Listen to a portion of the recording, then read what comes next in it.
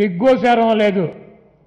ప్రజలు బీజేపీని మొన్న బైపోల్స్లో పెట్రోల్ డీజిల్ పోసి తగలబెడితే అయినా బుద్ధి రాకుండా మోడీ గారు దేశ ప్రధాని అయినప్పుడు ఈ రాష్ట్రంలో కానీ దేశంలో క్రూడ్ ఆయిల్ అంతర్జాతీయ క్రూడ్ ఆయిల్ ధర నూట వంద నూట ఐదు రూపాయలు ఉంది.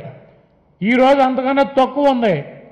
ఆ రోజు నలభై రూపాయలు డీజిల్ పెట్రోల్ అమ్మారు ఇదే దేశంలో క్రూడ్ ఆయిల్ వంద రూపాయలు ఉన్నప్పుడు. ఇప్పుడు రేటు తగ్గినా కూడా వంద రూపాయలకు డీజిల్ తీసుకెళ్ళినటువంటి ఘనత నరేంద్ర మోడీ గారి ప్రభుత్వానికి దక్కింది. ఈరోజు రాష్ట్రాలకు ఇవ్వాల్సినటువంటి ట్యాక్సులు ఎక్కొడటానికి ఎక్సైజ్ డ్యూటీ నలభై ఏడు వేల కోట్ల రూపాయలు చూపిస్తున్నారు. ఈ దేశంలో ఉన్నటువంటి రాష్ట్రాలన్నిటికీ నలభై ఒక్క శాతం నలభై రెండు శాతం ఎక్సైజ్ డ్యూటీలో డబ్బులు కట్టాలి. కాబట్టి ఈ దేశంలో వచ్చేటువంటి పెట్రోల్ డీజిల్ మీద ఉన్నటువంటి ఆదాయంలో ఎక్సైజ్ డ్యూటీగా నలభై ఏడు వేల కోట్ల రూపాయలే చూపించి రాష్ట్ర ప్రభుత్వాలకు పదిహేను వేల కోట్ల రూపాయలే షేరు పంచిపెడుతున్నారు. అది కాకుండా సర్చార్జీ రూపంలో ఒక డెబ్బై నాలుగు వేల కోట్ల రూపాయలు మౌలిక వసతులు రోడ్ల నిర్మాణం కోసం ట్యాక్స్ అని చెప్పి ఒక లక్ష తొంభై ఎనిమిది వేల కోట్ల రూపాయలు. అట్లాగే పెట్రోల్ ఉత్పత్తుల మీద పన్ను అని చెప్పి కొత్త పన్ను ఒకటి కనిపెట్టాడు. పదిహేను వేల కోట్ల రూపాయలు. ఇవన్నీ దాదాపు మూడు లక్షల యాభై వేల కోట్ల రూపాయలు సంవత్సరానికి పేద ప్రజల దగ్గర నుంచి మూడు లక్షల యాభై వేల కోట్ల రూపాయలు దోసుకుంటున్నటువంటి జలగలు ఈ బీజేపీ ప్రభుత్వం.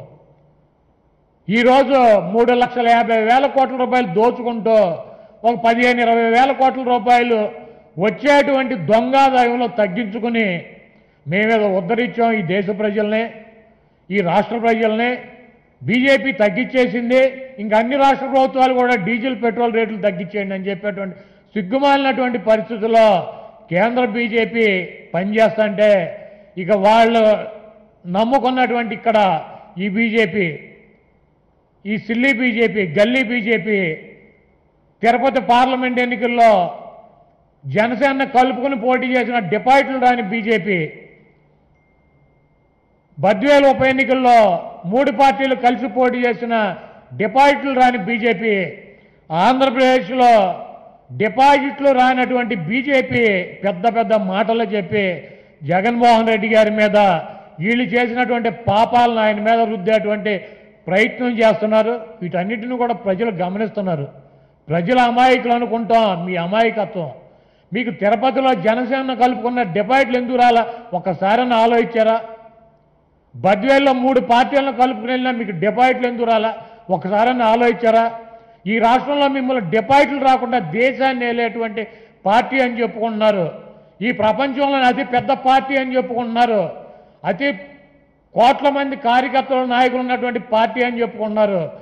అత్యధిక మంది ఎంపీలు ఉన్నటువంటి పార్టీ అని చెప్పుకుంటున్నారు. అత్యధిక రాష్ట్రాల్లో అధికారులు ఉన్నటువంటి పార్టీ అని చెప్పుకుంటున్నారు. అయినా కూడా మీకు ఈ రాష్ట్రంలో డిపాజిట్లు కనీసం గెలుపు ఓటముల సంగతి పక్కన పెట్టేయండి. డిపాజిట్లు రావట్లేదంటే పంచాయతీ ఎన్నికల నుంచే పార్లమెంట్ ఎన్నికల దాకా మీరు చేసేటువంటి అరాజకాలు కులాల మధ్య మతాల మధ్య విద్వేషాలు రెచ్చగొట్టాలని బ్రహ్మాండంగా ప్రజల కోసం పనిచేస్తున్నటువంటి ముఖ్యమంత్రి మీద మీరు ఏదో ఒక రకంగా అభండాలు వేయాలని చెప్పి మీరు ప్రతి నిమిషం కూడా ఆలోచిస్తున్నారు కాబట్టి మీకు ఇంత పెద్ద ఎత్తున ప్రజల బుద్ధి చెప్పినా కూడా బుద్ధి రానటువంటి పరిస్థితుల్లో మీరు ఉన్నారంటే మిమ్మల్ని ఈ రాష్ట్ర బీజేపీని ఎవడో కూడా కాపాడగలిగినటువంటి శక్తి సామర్థ్యాలు దేవుడికి కూడా లేవని చెప్పి తెలియజేస్తూ ఇంకా బీజేపీకి తోక పార్టీ నలభై ఏళ్ళు ఇండస్ట్రీ మొత్తం నాకే తెలుసు అంతర్జాతీయ మార్కెట్ నాకే తెలుసు. డీజిల్ని పెట్రోల్ అసలు కనిపెట్టింది నేనే. డీజిల్ పెట్రోల్తో బల్లెట నడుస్తాయో కూడా కనిపెట్టింది నేనే అని చెప్పి చెప్పుకునేటువంటి ఇక్కడ ఒక వృద్ధ జంబుకం ఉంది. చంద్రబాబు నాయుడు. ఈరోజు పెట్రోల్ బంకుల దగ్గర నిరసన దీక్ష అంట. ఈ రాష్ట్రంలో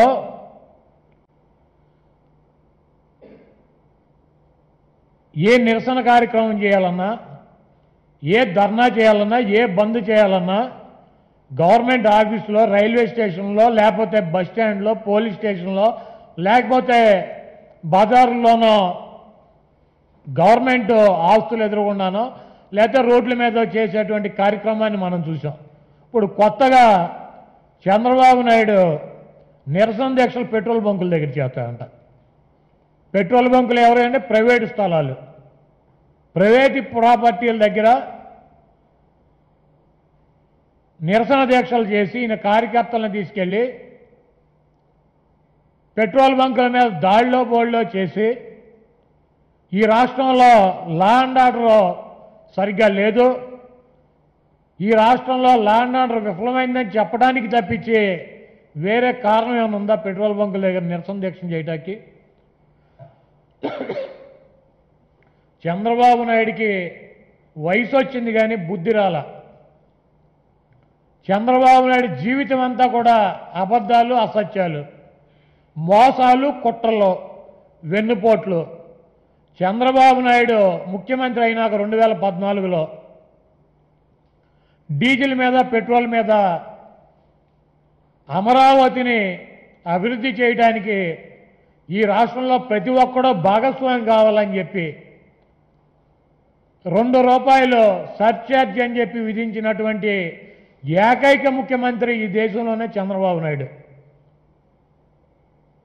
ఈ రాష్ట్రంలో రెండు రూపాయలు సర్చార్జీ వేసి నాలుగున్నర సంవత్సరాలు దాన్ని అమలు చేసి దాని ద్వారా పదివేల కోట్ల రూపాయలు ఈ రాష్ట్ర ప్రజలను లూటీ చేసినటువంటి దుర్మార్గుడు చంద్రబాబు నాయుడు. ఎన్నికల ముందు మూడు నెలల ముందు ప్రజలు మాడు పగల కొడతారని చెప్పి ఆ రెండు రూపాయల సర్ఛార్జీని తగ్గించి ఈరోజు బీజేపీ ఏ రకంగా అయితే పెంచి ఐదు రూపాయలు పది రూపాయలు తగ్గించామని చెప్పి డబ్బాలు కొట్టుకున్నటువంటి బీజేపీ ఏ రకంగా చేసిందో అదే రకంగా వాళ్ళకన్నా ఐదేళ్ళ ముందు సీనియర్ కదా. మోడీ గారి కన్నా ఐదు సంవత్సరాలు. మోసాల్లో కూడా సీనియర్ కదా వెన్నుపోటులో సీనియర్ కదా.